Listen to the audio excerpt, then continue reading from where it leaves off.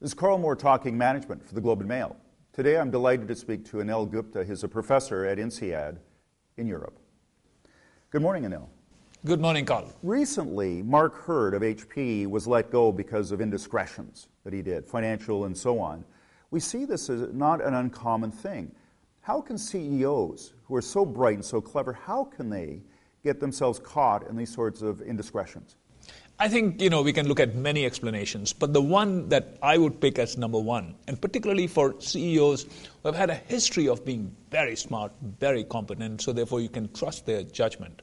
Generally, that the, the, the one thing that I would pick is that in some sense success itself breeds this uh, propensity to engage because it, it, it, it, runs the risk of creating in the person's mind an aura of invincibility, you know, an aura that I can do no wrong, uh, and essentially that blinds them uh, to the things that you or I may consider to be, you know, just downright stupid, uh, but it doesn't appear to the person doing it. But th- this must have negative effects, not just obviously getting fired, but within their ability to deliver great results and to run a corporation well.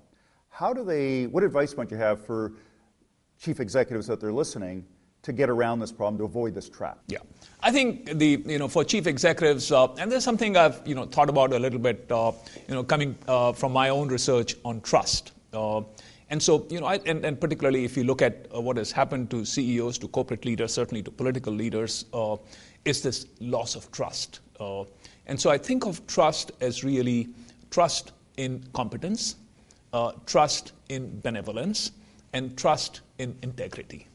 I think today the trust in competence, of course, is very critical. But people like Mark Hurd, uh, they generally don't have an issue. You know, they have a proven track record. Trust in benevolence is something that it's very hard to expect. You know, I mean, in, a, in an ever-changing global world, we know that some activities might get shut down and some other activities somewhere else may get built up. Uh, so therefore, benevolence, I think, is by and large gone. But it's trust in integrity, you know, in terms of that can I trust you to be true to your word? Can I trust you to uphold standards of behavior, you know, both from a mm. legal point of view and from an ethical point of view? And that's something I think really can be done, irrespective of what's happening in the economy, in the industry, and to that particular company. And I think what CEOs really need to do is to say, you know, there is a one universal.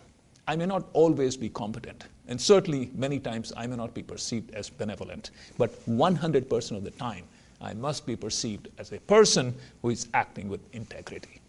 But how does a CEO not get caught up in the, the bubble of an entourage, of the posse that, that surrounds him or her and keeps him away from reality and a sense of what the average person go, no, that's gone too far?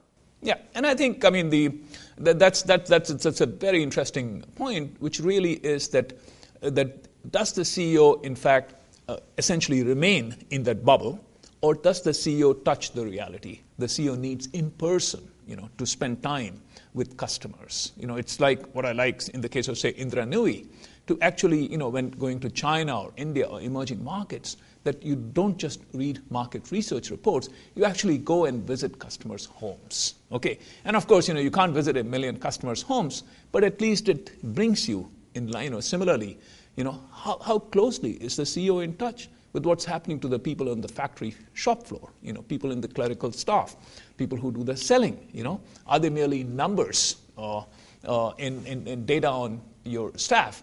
Or actually, you know, do you have some, uh, on a day-to-day basis, an understanding of what kind of lives they lead?